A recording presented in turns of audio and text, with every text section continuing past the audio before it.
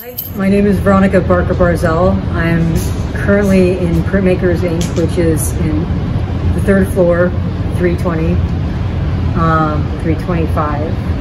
And then I also have another studio space that's 320, that's two doors down.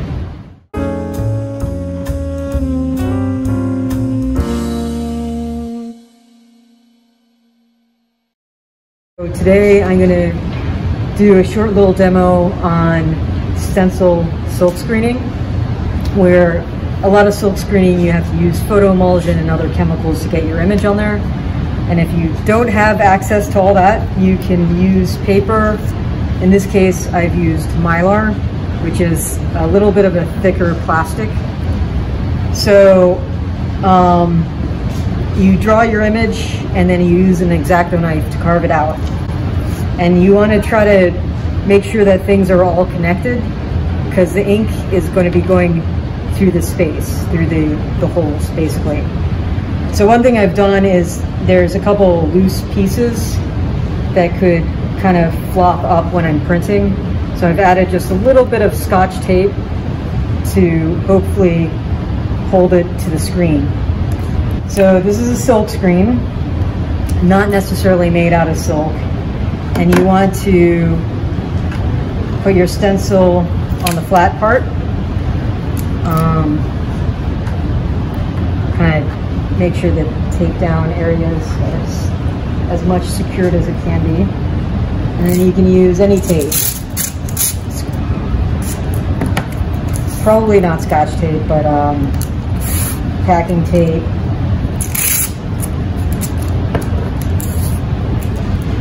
works too.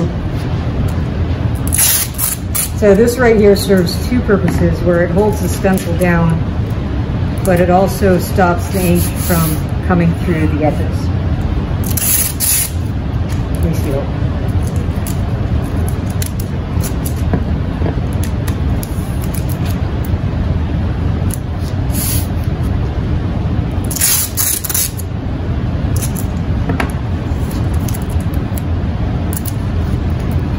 Now with the stencil silk screening, it's never quite accurate because there's a lot of ink that could be pushed through the open areas, but that's okay.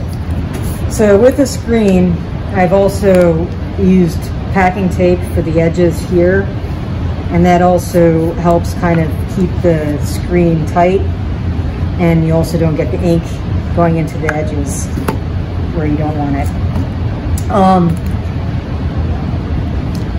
I'm going to use this to hold the screen in place.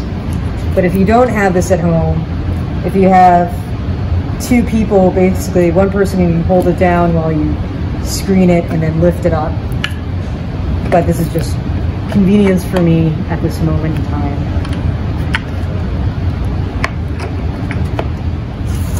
So if you're, um, if you don't, even if you don't have this, you kind of want to have another maybe a, like a piece of cardboard underneath just as a cushion as you're pushing the ink through. Um, yeah, so I have some silk screening ink.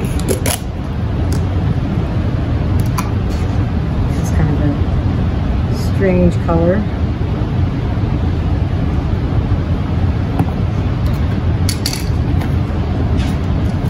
And this here is a squeegee. So basically you want to flood your screen first. And you put it down over your paper.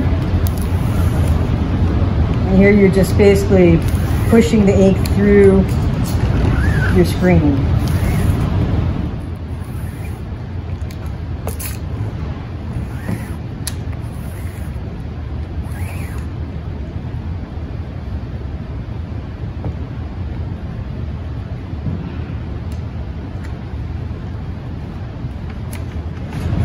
you get an image.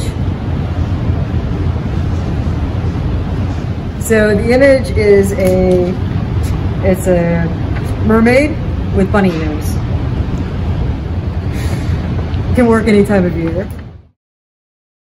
The Torpedo Factory is open and the artists are working in our studios. We would love to see your faces if possible.